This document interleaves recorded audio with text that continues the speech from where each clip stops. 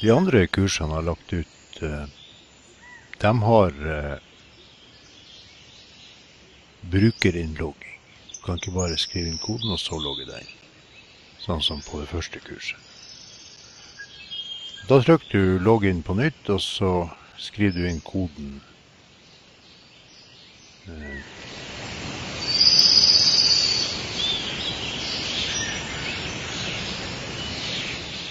som jeg har oppgitt til det kurset.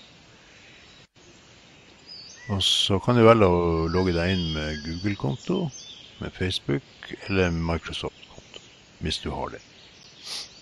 Hvis ikke så kan du lage deg en, eh, en bruker, altså opprette en konto her, ved å trykke på opprett konto her borte.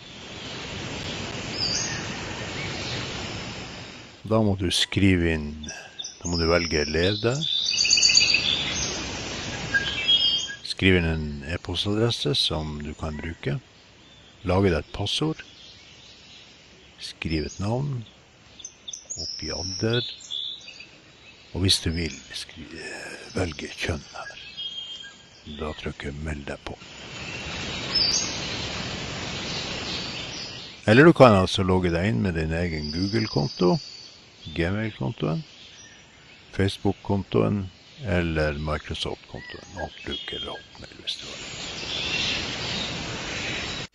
Og det de her eh, Google, Facebook og Microsoft ber om, det er jo at de får tilgang til eh, At det her nettstedet får tilgang til noe av informasjonen. Jeg tror ikke det er så mye. Men for å altså fortsette på, på de kursene som er etter det første kurset på, i den klassen jeg har lagd, så må du være en bruker som har oppgitt e-postadressen.